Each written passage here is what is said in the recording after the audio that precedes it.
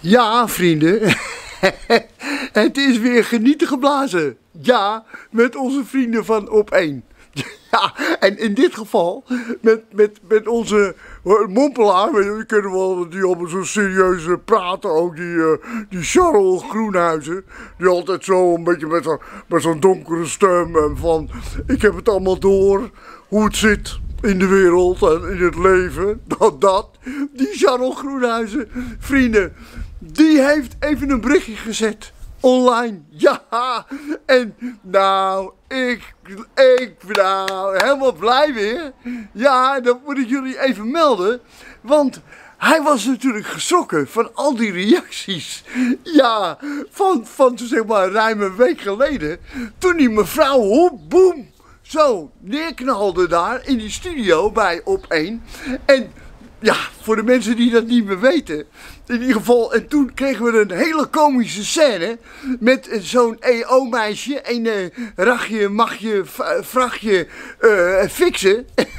en die ging live verslag geven van een mevrouw die lag te bloeden op de grond. Ja.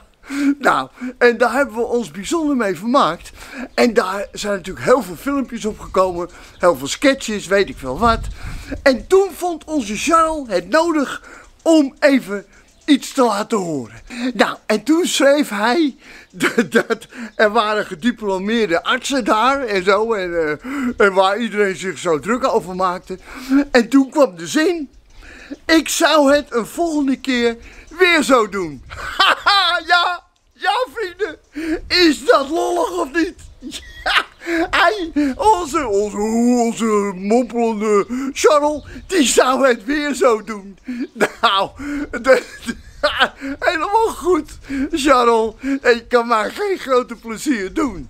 Ja, want hij heeft daar gezorgd dat die Margie Bargje, weet ik veel, dat die dat hij de afgang van de leven had. Want hij pakte niet het voortouw. En dat had onze Charles natuurlijk moeten doen. Want ja, zo'n man die, die, die leest alleen maar autocuetjes. En die krijgt vraagjes in zijn oor. En dat is het dan. En ja, en, en verder niet. En nu moest hij eindelijk eens een keertje optreden en deed hij niks. En ging hij gewoon een beetje in zijn, in zijn papiertjes zitten rommelen en neuzen. En keek verder even kort opzij en dat was het dan. En daarna keek hij als een hert in de koplampen in de camera. Die. Van, hoe, wat moeten we nu? Hij had gewoon moeten zeggen, beste vrienden, ongelukje gebeurt hier. Ja, en niet zo zuinig ook. We gaan eventjes stoppen. Ja, we gaan even goed met z'n allen kijken wat er aan de hand is hier. En dan komen we zo weer bij u terug. En daarmee dwing je de regie om gewoon het bordje geduld AUB even eh, eh, op het scherm te gooien. En dan kan je daar verder daar eventjes bezighouden met die mevrouw enzovoort enzovoort. Nee, dat hebben we dus allemaal niet gedaan. En toch zegt onze Charlie Groenhuizen.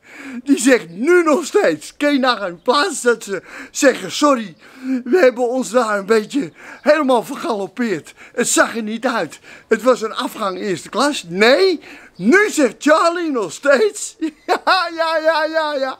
De volgende keer doe ik het weer zo. hey, Charlie, jij bent mijn man.